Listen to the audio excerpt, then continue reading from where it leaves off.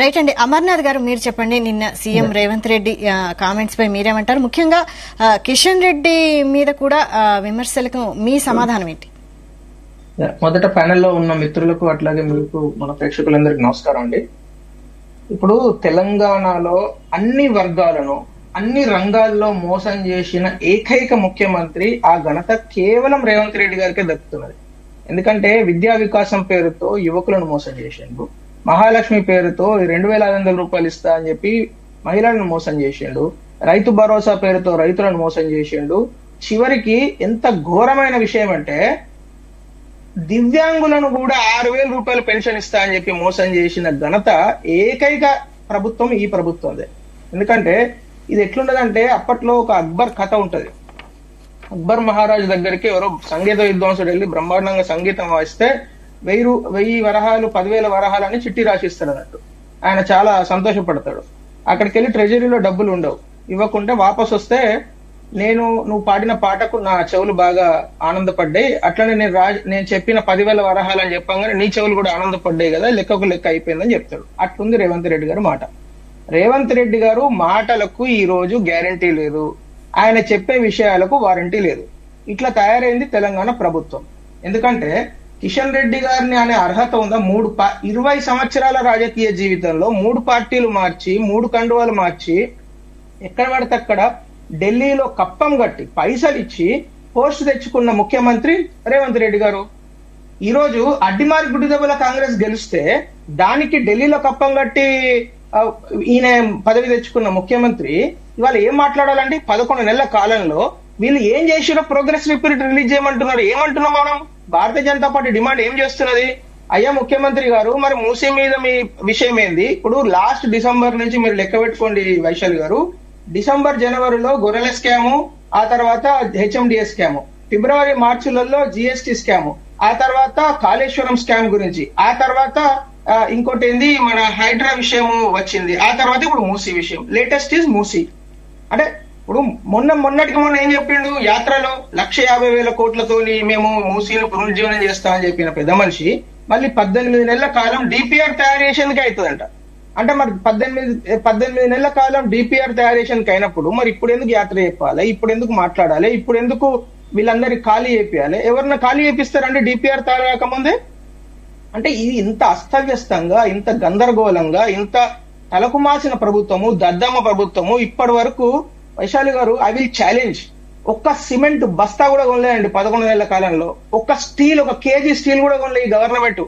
ఇల్లు ఉన్న రోడ్లు వేసిరా ప్రాజెక్టులు కట్టిరా అసలు ఏం చేసిరు ఆ స్కిల్ యూనివర్సిటీ పెట్టి అందరి దగ్గర సిఎస్ఆర్ కంపెనీలను బెదిరించి సిఎస్ఆర్ ఫండ్స్ తీసుకొచ్చి ఆ దానిలో పెట్టిరు అది తప్పితే ఈ పదకొండు నెలల కాలంలో గీ ఒక్క పని చేసినాం గీ అభివృద్ధి చేసినాము లేకుంటే గీ ప్రాజెక్ట్ తీసుకొచ్చినాం ఈ రోజు ఎంత దారుణమైన పరిస్థితి ఉన్నదంటే తెలంగాణలో మీరు జిఎస్టీ వసూలు చూడండి తెలంగాణ వసూలు మొత్తం దేశం six point five percentage growth అయితే సెప్టెంబర్లో తెలంగాణ ఓన్లీ వన్ పర్సెంటేజ్ ఇవాళ ఆదాయ వనరులు ఎక్కడి నుంచి వస్తాయి? అసలు ఏంది దీని గురించి ఆలోచిస్తాడా ముఖ్యమంత్రి? కిషన్ రెడ్డి గారిని ఉన్న మిగతా నాయకులను తిడతాడా? కిషన్ రెడ్డి గారికి ఆయనకు అసలు తిట్టే అర్హత ఉందా? కిషన్ రెడ్డి గారు నలభై సంవత్సరాల నుంచి ఒకే ఒక సిద్ధాంతం ఒకే ఒక కండువా నమ్ముకొని ఒకే ఒక సిద్ధాంతంతో దేశం కోసం ధర్మం కోసం పనిచేస్తున్న ఒక నిఖార్చన కార్యకర్త.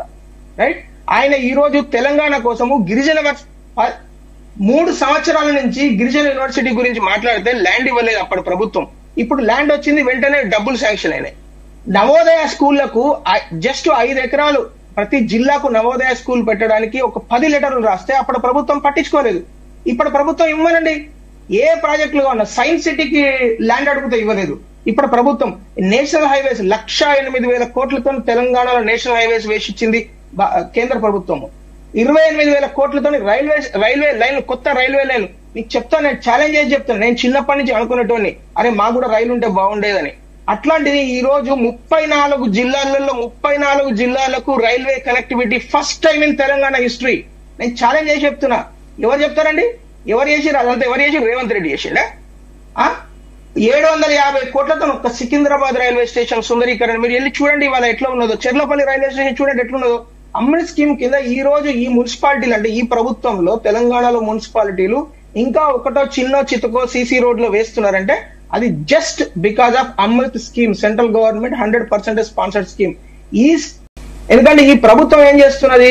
ఉట్టి మాటలు చెప్తున్నా ఇందాక చెప్పిన అక్బర్ స్టోరీ లాగా అలాంటిది కిషన్ రెడ్డి ఇప్పుడు కిషన్ రెడ్డి గారు తెలంగాణలో ఉండాల వద్ద నువ్వు? డిసైడ్ చేసేది. నువ్వు ఇటలీ ఆదేశాలు తీసుకొని పనిచేసే వ్యక్తివి నువ్వు. ఇటలీ నుంచి ఫోన్ వస్తే ఆ ఏం చేయాలి? అంటే ఆ చేసే వ్యక్తివి నువ్వు. నువ్వు కిషన్ రెడ్డి గారిని అంటావా? ఇంకా అసలు అంత అంత చిత్తశుద్ధి ఉందా? ఆ మూడు పార్టీలు మారొచ్చినావు. కనీసం కాంగ్రెస్ పార్టీలో కూడా ఇంకెన్ని రోజులు టికా ఇస్తో తెలియదు ఇష్టం ఉన్నట్టు మాట్లాడతారా? ఎవరిని పడితే వాళ్ళను? ఆ కిషన్ రెడ్డి గారి చిత్తశుద్ధి ఏంది? ఆయన యొక్క ఎంత కమిట్మెంట్ ఉన్న నాయకుడు ఎన్ని రోజుల నుంచి ప్రజలకు సేవ చేస్తున్నాడు? హ్యాట్రిక్ ఎమ్మెల్యే ఒక్క అబ్బర్పేట ప్రజలను అడగండి. ఆ? సికింద్రాబాద్ ప్రజలను అడగండి. ఆ ఇక్కడ ప్రభుత్వం లేకున్నా ఇక్కడ ప్రభుత్వం లేకున్నా ఎంపీ ల్యాడ్ స్కీమ్ కింద ఎన్ని రూపాయలు వస్తే అన్ని రూపాయలు? తెలంగాణ అంటే కేంద్ర ప్రభుత్వం నుంచి తెలంగాణ ప్రభుత్వం ఏమాత్రం సహకారం అందించకుండా ఏమేమి చేయగలుగుతామో? నేను ఒక్క విషయం చెప్తాను. రామప్ప హెరిటేజ్ మనకు వరల్డ్ హెరిటేజ్ యునెస్కో వచ్చింది కదా రామప్ప గురించి. రామప్ప కోసము పన్నెండు వందల లెటర్లు రాసిండండి ఆయన మీకు తెలుసో తెలియదు దానికి ఎట్లా జరుగుతుందో? అది ఇంకో డిస్కషన్ పెడితే నేను చెప్తా. దానికి ఒక పెద్ద ప్రాసెస్ ఉంటది. ఏడు ఏడు దేశాలు ఒప్పుకోవాలి యునానిమస్గా సంతకం పెట్టాలి. ఆ చిన్న చిన్న విషయాలకు వాళ్ళు అడుగుతారు. అలాంటి కిషన్ రెడ్డి గారు ఈ రోజు ఆయనను పట్టుకొని అట్లా మాట్లాడతాడు. అసలు అట్లా మాట్లా అసలు సంద సందర్భం ఉందండి అంటే మూసీలో మీరు ఇష్టం ఉన్నట్టు మాట్లాడి వేల మందిని మూసీ నుంచి ఖాళీ అయిపించి బెదిరించి ఖాళీ అయిపిస్తే వాళ్ళకి సపోర్ట్గా అక్కడ వెళ్ళి నిద్ర వేస్తే మీకు కడుపు మండుతుందా? ఇవాళ లగచర్లలో ఎక్కడైనా ప్రైవేట్ కంపెనీకి ల్యాండ్ అక్విజిషన్ కోసం పైసలు ఇమ్మంటే ఇవ్వరా అండి? ప్రైవేట్ కంపెనీకి ఇప్పుడు ప్రైవేట్ కంపెనీ పోయి ఒక నేనే ఒక ప్రైవేట్ కంపెనీ అనుకోండి ఒక ల్యాండ్ నేను కొనుక్కోవాలి నాకు ఇష్టమైంది యాభై లక్షలు చెప్తాడు నెగోషియేట్ చేసి కొనుక్కోవాలి. అంతేగాని గవర్నమెంట్ బెదిరించి వాళ్ళ తమ్ముడిని వాళ్ళ అన్నగాళ్ళని పంపించి బెదిరించి పది లక్షలకు ఎనిమిది లక్షలకు ఏమైనా మాట్లాడతారు అక్కడ రైతులు ఇరవై ఏడు మూడు రెండు వేల ఇరవై నాలుగు రోజు రేవంత్ రెడ్డి గారు అక్కడికి వెళ్ళి మాట్లాడితే అప్పటి నుంచి ఇప్పటి వరకు అనేక ఉద్యమాలు చేసిరు అక్కడ రైతులు. ఎన్నో సార్లు కలెక్టరేట్ దగ్గరికి వెళ్ళిళ్ళు ఎన్నో సార్లు ఆ కూడా కడ చైర్పర్సన్ మన కమిషన్ దగ్గరికి వెళ్ళిరు వెంకటరెడ్డి గారి దగ్గరికి. వద్దే Right. వద్దు మాకు దరిద్రం వద్దు. దయచేసి మీరు వేరే దిక్కు పెట్టుకోండి pharma city pharma village whatever so దయచేసి వేరే దిక్కు కొనుక్కోండి. లేకపోతే మా పైసలు మాకు ఇవ్వండి మాకు ఈ ఈ రోజు మార్కెట్ వాల్యూ యాభై లక్షలు ఉంది. యాభై లక్షలు ఇవ్వండి. ప్రైవేట్ కంపెనీ కొనుక్కోదండి ప్రైవేట్ కంపెనీ కొనుక్కోలేని పరిస్థితుల్లో ప్రైవేట్ కంపెనీ ఉంటే మరి నువ్వెందుకు పెట్టావు నువ్వు బ్రోకర్వా నువ్వు ప్రైవేట్ కంపెనీకి రియల్ ఎస్టేట్ బ్రోకర్వా నువ్వెందుకు చేయాలి ఆ పని? ఇప్పుడు ఒక. గవర్నమెంట్ ప్రాజెక్ట్ కో లేకుంటే ఒక రోడ్ కో లేకుంటే ఒక ఏంది డ్యామ్ కో దానికో అంటే అది వేరే సబ్జెక్టు ప్రైవేట్ కంపెనీ కోసం ల్యాండ్ లాక్కోవడానికి నువ్వు నీ తమ్ముడిని వేసి బెదిరిస్తావా? ఇది పద్ధతేనా? ఇట్లా అడిగితే మీకు కడుపు మండి ఈ ఇష్టం ఉన్నట్టు తిడతారా? మైకున్నదాన్ని. మైకున్నదాన్ని తిడతారా? ఇప్పుడు మాకు అవకాశం వచ్చి మేము కూడా అట్లా తిట్టాలా? గౌరవ ముఖ్యమంత్రినే మాట్లాడతాం కానీ తిట్టొచ్చా? ఆ? ఒక గౌరవ కేంద్ర మంత్రిని పట్టుకొని ఇష్టం ఉన్నట్టు మాట్లాడతాడా? అట్లా మాట్లాడే ఒక ఆయన ఫామ్ హౌస్లో అన్నాడు ఇట్లా మాట్లాడుతూ నువ్వు కూడా ఇంట్లో అంటావు ఇది. యాదించుకోవాలి దయచేసి. అర్థం చేసుకోండి